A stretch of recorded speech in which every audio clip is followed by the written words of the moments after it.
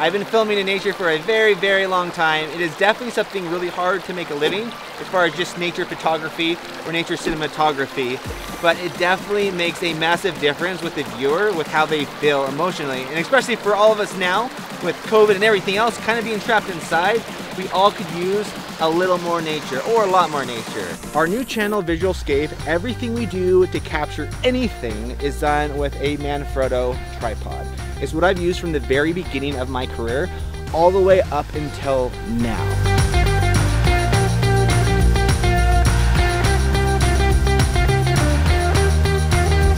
Okay, so we got the Manfrotto tripod. We're here at the gorgeous Goblin Valley. Filming, it looks like outer space out here. Sunrise, we were here for sunset. Just capturing the beauty of the earth and making it look good. But to get those shots, you guys have to wake up early. It's always miserable, but you'll never regret it afterwards. We never stop filming until it's completely pitch black. This is actually some of my favorite time to film. It definitely looks really good on people as far as you don't have the sun overhead with those really harsh shadows. So we just got a shot here in Cathedral Valley.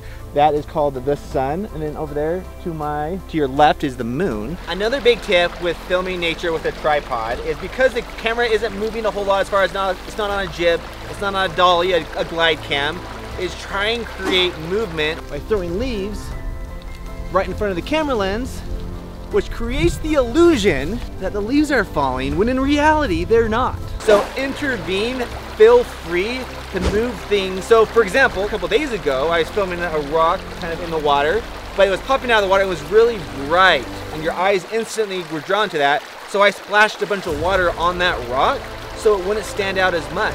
A big tip with filming in nature is patience. That is huge whether I'm waiting for the sun or if a tourist decides to start walking down this trail, you are constantly waiting.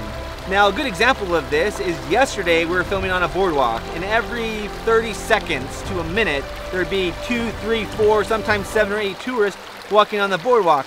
I didn't want to see any tourists, so we just wait patiently and wait and wait. So I film a lot of close-ups while that was going on, and once they left, we have sometimes three or four, six, seven minutes to then get all our nature shots. So a lot of filming in nature is about being patient and waiting for people to get out of the shot or for the sun to pop behind the clouds or in front of the clouds depending on what you're trying to achieve.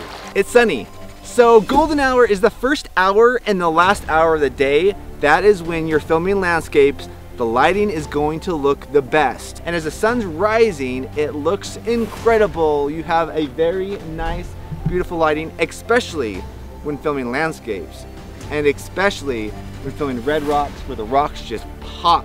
Now, one of the things that I just found out recently, you'd think this is common sense, but I'm sharing it with you because I went out with one of my favorite photographers, Scott Jarvie, and I asked him like, what's your favorite time to photograph? And he's like, clouds make such a big difference when they're in the scene. And of course you gotta fight them because you have the sun going in and out of the clouds, especially for a cinematographer. But now we got clouds, we got the sun popping, so everything is popping and it just gives it that much more texture and that much more depth. Some of the best advice I can give you guys is before any location you guys go to, do your research ahead of time. So in this case, we are filming at, where are we? Capitol Reef National Park. So I jump on to Google, I search Capitol Reef National Park, I added wallpaper to it and then the best images start popping up of this location. And one of the locations that popped up is this image right here.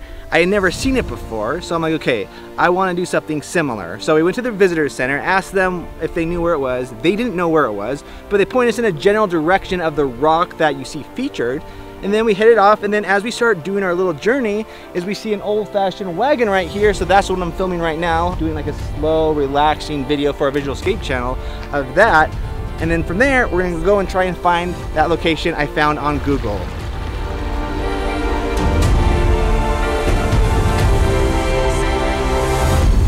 So there you have it. That is our tips and tricks with filming outside in Mother Nature, but definitely something that makes a massive difference.